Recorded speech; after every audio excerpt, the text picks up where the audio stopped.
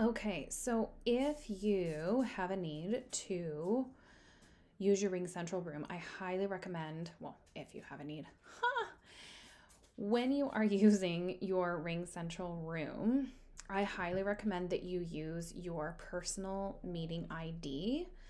And this makes it super easy for you to just refer people back to the same place rather than them always having a new link or saying, oh, I lost the link. Or um, the one disadvantage to using the same one all the time is that it can mean anyone who has it could interrupt at any time. So if you're doing anything, you know, really private, then maybe you would want uh, a unique link. But I personally use my meeting ID for all my meetings and um, I just make people aware that I use it frequently. So um, if they want to pop in and test the link, then please do that, you know, after 4 p.m. or something. And usually it's not a problem. Um, so when I bring up the app, um, if you're on Windows, you'd have to go into your programs and find uh, the program here, the app. Um, and when I bring it up, it automatically brings me to this one because this is where I always am. But your home screen usually looks kind of more like this, or perhaps even, whoop, okay, no, sorry, that's going to take me another place. if you do new meeting like this, then you have the option to use your personal meeting ID. Um, but if you just were to press new, new meeting, it's going to give you a unique link.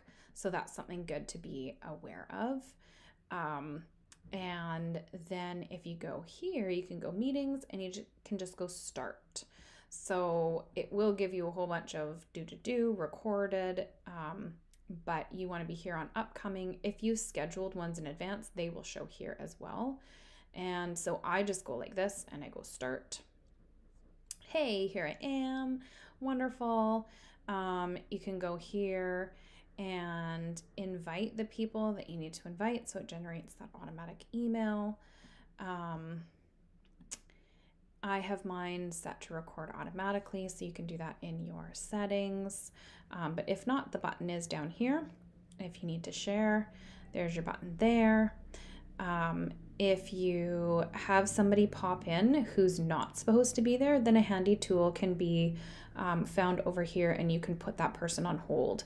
And they apparently get a message on their screen saying the host has put you on hold. And it just it doesn't totally kick them out of the room, but it also doesn't allow them to participate at all.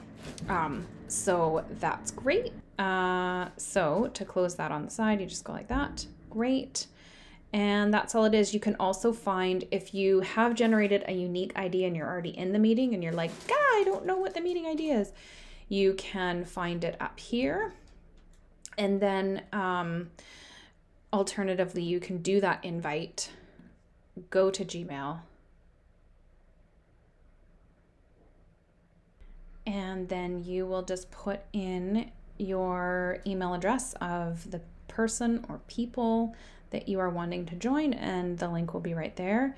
You can also just come right here and grab it and text it to them, chat it to them, whatever else if you're not to send them an email. And that's it. That is the different ways you can find your personal meeting ID and meeting for all.